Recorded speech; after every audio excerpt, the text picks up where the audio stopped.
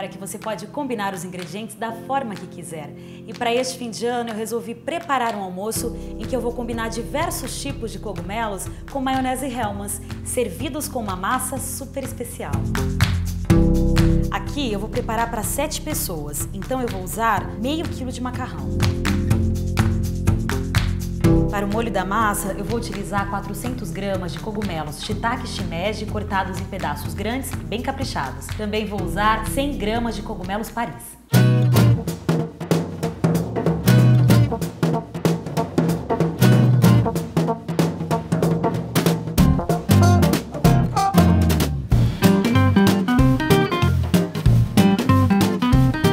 Derem uma douradinha, acrescento meia taça de vinho branco e deixo o vinho evaporar um pouquinho. E essa é a hora em que o cheiro toma conta de toda a cozinha. Por fim, eu acrescento 8 colheres de maionese Hellmann's.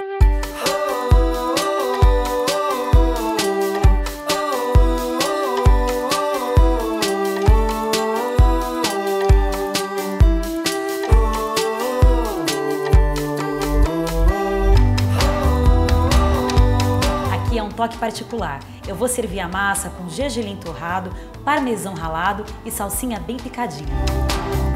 Agora é só preparar uma mesa bem bonita.